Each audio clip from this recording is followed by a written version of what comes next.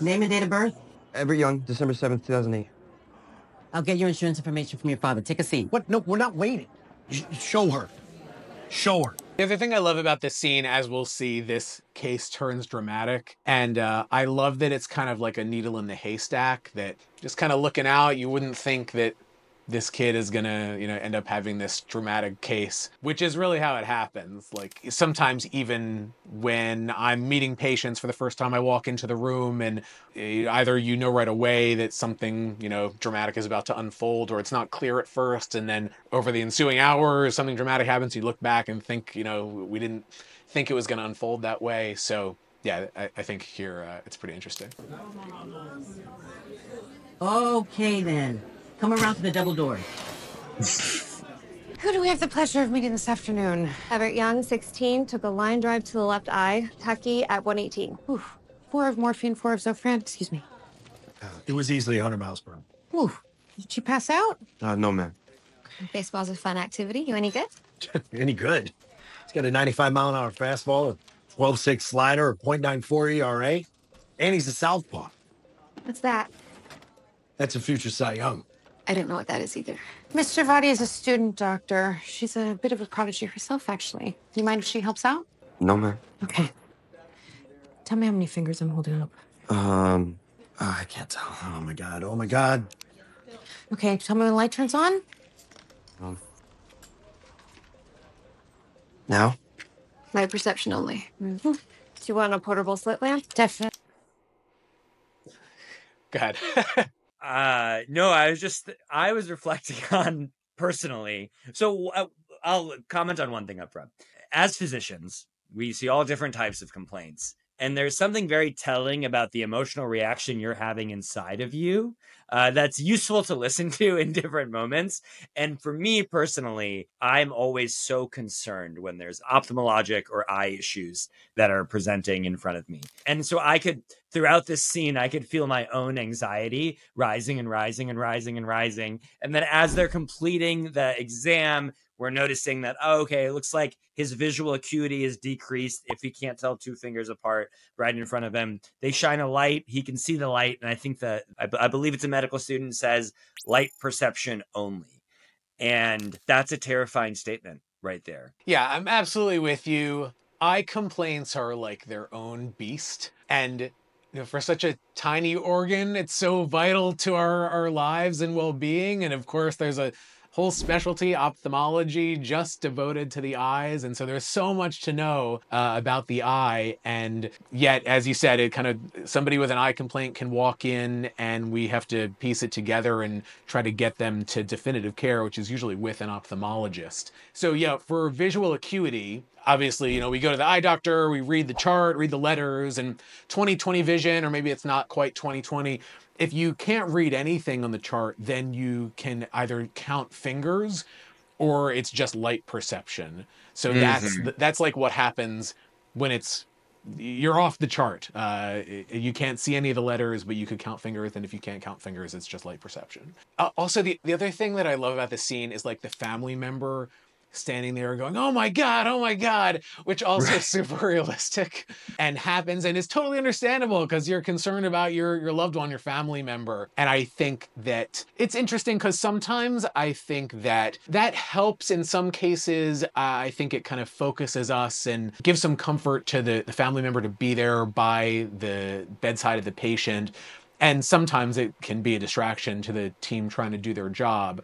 So that's something that we also try to balance. We want to support family members and have them there, but we also want to make sure we're prioritizing the care of the patient. But I was just kind of nodding my head at that, like, have absolutely Yeah. uh, experienced that. Yeah, Javadi, what do you think of the anterior chamber? Hyphema. Exactly. Grade four. Yeah, meaning?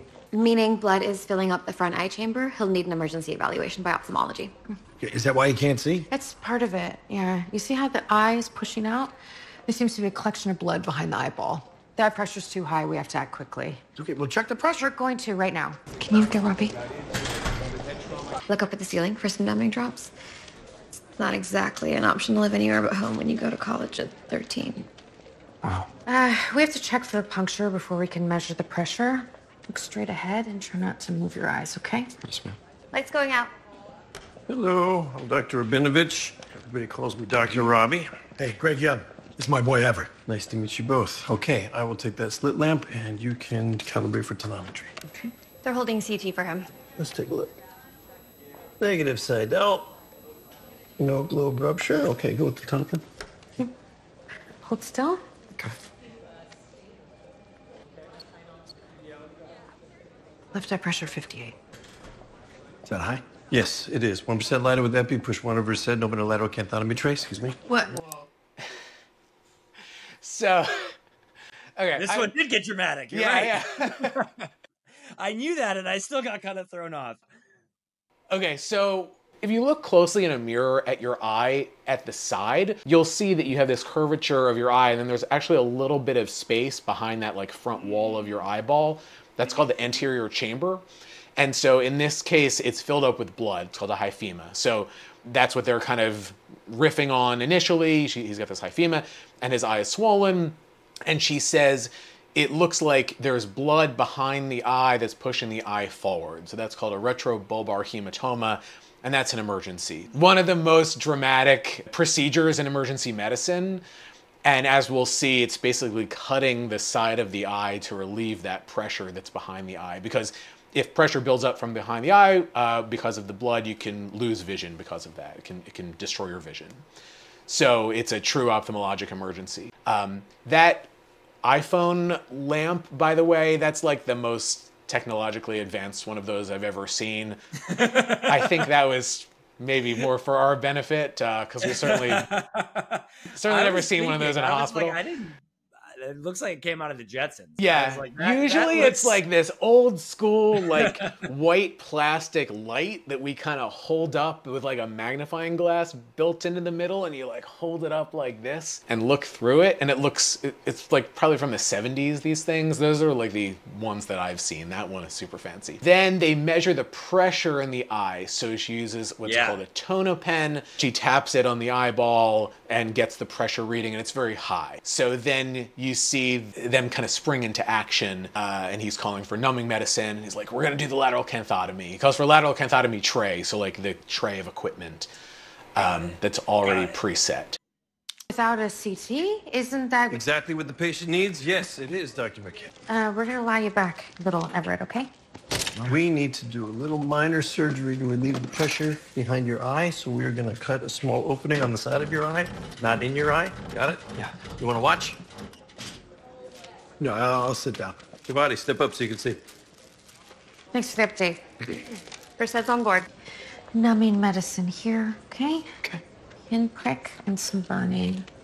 So after you cut his eye, see you again? This will give us our best shot at preserving his vision. Yes. Dr. McKay, are you ready to do the honors? Who me? We are a teaching hospital. Are you still here to learn? Yes. Yeah. Ah, okay. You can release that hemostat now. Good. Tooth forceps. Feeling for the inferior and superior crus. How can you see with all that blood? You can. It's all tactile. It was like two guitar strings. Metzenbaum. Inferior, Yeah. superior. Nice. Good. Well, that's a lot of blood. Okay, let's get a repeat pressure. Pressure of 18? Perfect. CT can take it. Okay, so there you go. Dr. Robbie, let's go. Yeah. Oh man. So This- I mean, yeah, like that's it. So these this is a rare procedure, and uh, it again it sort of made me laugh when I realized that they were going to show this because it makes you so squirmy. They're like, oh, the needle right by the eye, and then oh, the eye's all bloody, and it's like, yeah. it's really kind of made for TV. But yeah, I mean that's like how it goes. It's you're just kind of relieving the pressure behind the eye.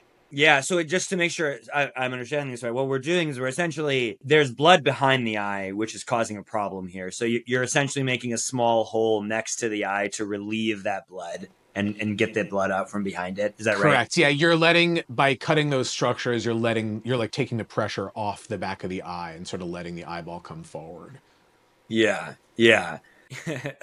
I like had a bit of a reaction when that. So there's a tricky thing always happening in these moments where teaching hospitals are fundamentally responsible for training under supervision these these resident physicians who are doctors in training, right? You're if you're a resident physician, you have an MD, you've got a doctor in front of your name, but you're essentially in apprenticeship and you get graduated responsibility over time to do more and more. Throughout that time, you have to be able to do everything that you need to do before you become Dr. Robbie, right? You've got to learn how to do it. And there's only one way to be able to actually do that. If you get the opportunity to do it with somebody who's comfortable and trained, kind of like like like Dr. Robbie is in this situation. Uh, so it's, you know, I think we'd all think back about these moments of having a really great teacher with you at the bedside, helping you work through some of these moments here. And it's a great skill, you know, and it's it's it's awesome to see it kind of enacted here live.